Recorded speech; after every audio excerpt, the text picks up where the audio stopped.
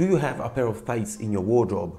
Or do you sometimes use some sports seamless garment when you go running outside? Then you will surely have some texturized yarns in your wardrobe. Normally, sportswear and tights use polyamide or polyester yarns due to their fantastic properties. But these synthetic yarns have a big problem. They are monofilament yarns and they are too sleek. So they don't feel comfortable on your skin, they feel too plasticky, too synthetic. So what's the solution? We texturize the yarn.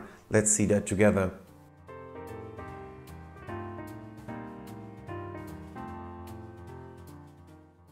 Texturization is a process to obtain a texturized yarn. It's normally used on synthetic yarns such as polypropylene, polyester or polyamide, so synthetic fibers. It's called texturizing because it modifies the texture of the yarns.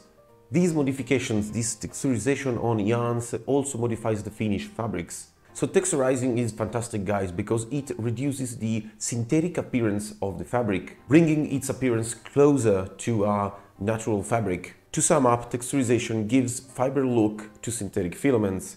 The cons is evident guys, you lose tenacity and strength of the yarn, that's why it's not used for industrial applications. The process is not so complicated, let's see that together.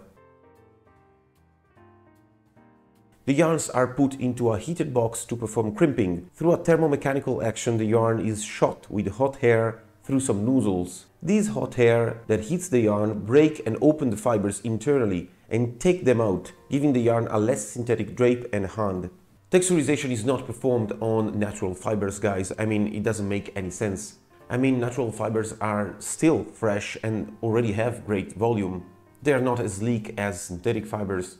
Anyway, there are a different different types of texturization. There are, for example, friction texturizing, PIN texturizing, air texturizing, stuffer box texturizing, belt texturizing, knit-de-knit texturizing, and so on and so on. Each of these different processes brings different texturization to your yarns according to your needs. Some gives more volume, some gives more hand. Can I perform texturization on artificial fibers? This is a great question indeed. Yes, you can do that. Artificial fibers are as synthetic fibers because they are very sleek if you think about a viscose, a monofilament viscose for example. So yeah, you can perform texturization to improve the volume.